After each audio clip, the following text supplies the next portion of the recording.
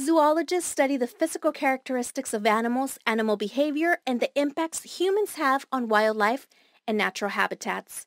Most zoologists work in offices, laboratories, or outdoors. Depending on their job, they may spend considerable time in the field gathering data and studying animals in their natural habitats.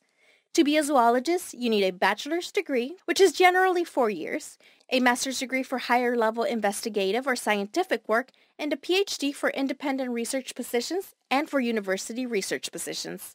Zoologists analyze the influence that human activity has on wildlife and their natural habitats. They write research papers, reports, and scholarly articles that explain their findings and give presentations on research findings to academics and the general public. Zoologists need to be critical thinkers and possess excellent problem-solving skills, emotional stamina and stability, observational skills, and outdoor skills. Being a zoologist is rewarding in so many ways.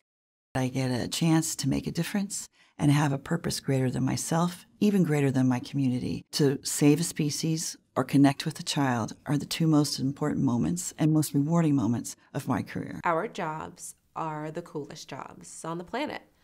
Who else gets to go on boats and do research with marine animals? I get to do amazing things. I get to go to classrooms and talk to students about fishes. I get to talk with people about, you know, what's happening at places of entertainment like SeaWorld. What does that mean and how does it get there? Every time I go to Congo, I discover new species of fish. And it's it's remarkable. But when you say you discover new species, obviously the local people know those fishes and they have names for those fishes, but the scientific world doesn't know those fishes and it doesn't have names for those fishes. You have to know what fishes have been described from that region, what you might expect to find there, and then you find something that doesn't fit any of the descriptions. And you think, hey, maybe this is a new species, and that's really when the work begins. To keep learning about zoologists and wildlife biologists, read through the information below.